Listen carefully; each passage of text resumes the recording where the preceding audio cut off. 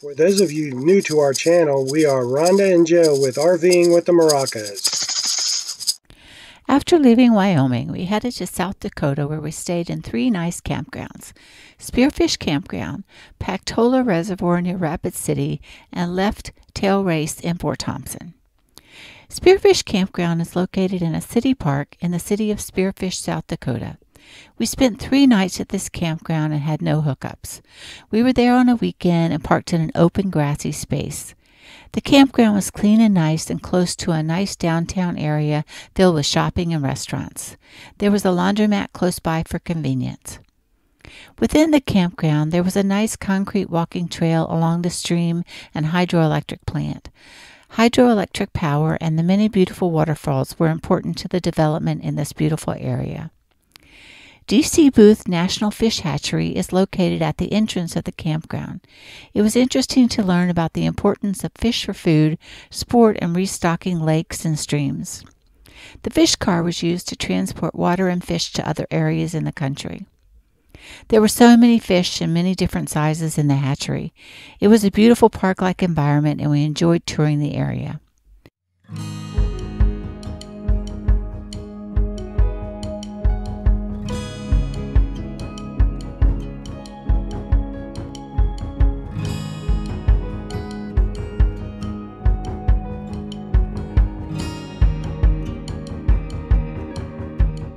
While we stayed in this campground, we took a few day trips to visit Spearfish Canyon, Deadwood, and Sturgis, South Dakota. Spearfish Canyon Scenic Byway is a 19 mile drive along Highway 14A. This is a beautiful gorge along the river with some hiking trails to waterfalls in the area.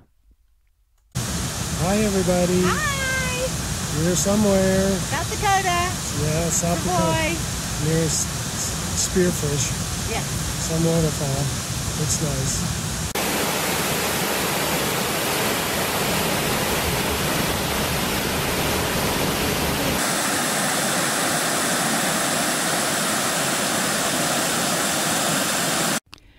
Deadwood, South Dakota was very touristy, but we enjoyed walking through the historic area and sightseeing throughout the area.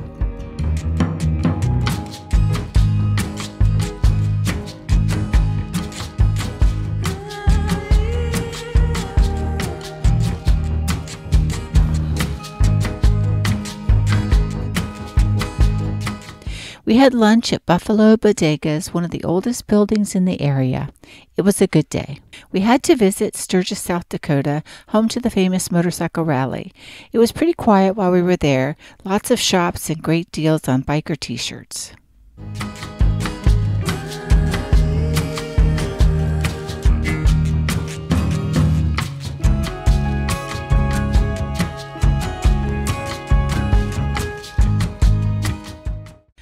Our second campground for this video is Pactola Campground.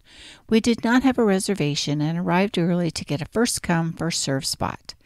Our site was 21 and we spent seven nights and paid $13 per night. Well, Sunday morning, we're about to leave another campground. We've been here a whole week. It's a nice area. Did a lot of sightseeing. Uh, Mount Rushmore, Crazy Horse, uh, Custer State Park, um, Badlands National Park, which was really nice. So was Custer, but just a lot of driving. We did about 500 miles of driving because nothing's close. But um, it's a pretty good campground. No, no hookups at all. So we've had to run the generator pretty much every day. Uh, sometimes for the heat, sometimes for the air conditioning.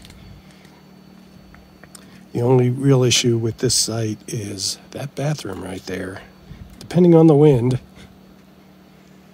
Um, other than that, we enjoyed the area. Rhonda really liked South Dakota. We did a lot of touring in the area while at this campground. First was Mount Rushmore. It was very impressive.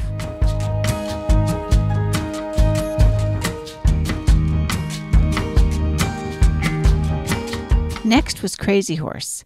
This is still a monument that is a work in process. It is also very impressive. We enjoyed hoop dancing from local Lakota Indians who continue to share their heritage.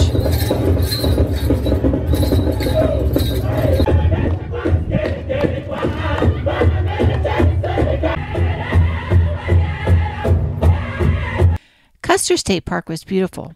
We only spent one day there and enjoyed driving through the park and seeing the buffalo and other animals.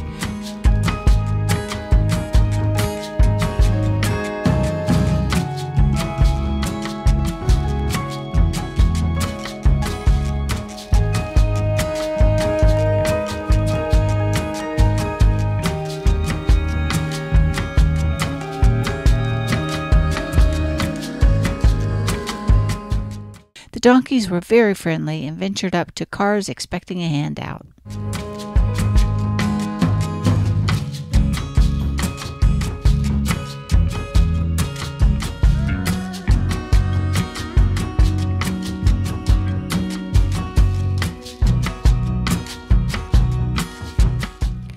Another day we went to the Badlands National Park, another impressive landscape. Lots of animals and beautiful colors throughout the park.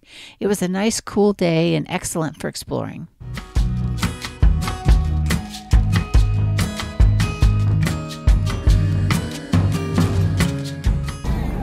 So we're in Badlands National Park Yes, we are. on the scenic tour. We're doing the loop, a loop. Very um, cool. We've seen more animals here than we saw in all of Yellowstone.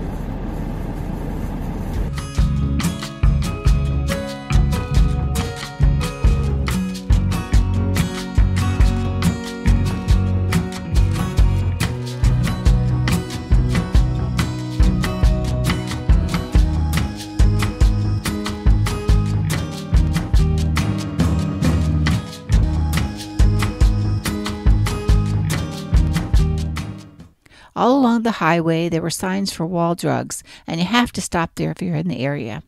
It was huge, with lots of shoppings and a restaurant. The restaurant was a little bit crowded for us to stay and eat, but we enjoyed walking through the store and the surrounding area. Our final campground in South Dakota was Tailrace Campground near Fort Thompson. We spent two nights at this campground at a rate of $18 per night. The campground was nice, and our Site 11 was near the lake. The campground had a nice playground, frisbee golf, a dam, and beautiful sunsets. We were a bit tired after all of our sightseeing adventures, so we took these few nights to rest up before leaving South Dakota. As Joe mentioned earlier, I love South Dakota, and we plan to return for more sightseeing and getting to know the area a, bit better. Thanks for watching, and be sure to like the video and subscribe if you're new to our channel. Feel free to leave us a comment and tell us what you think. We'll be happy to respond.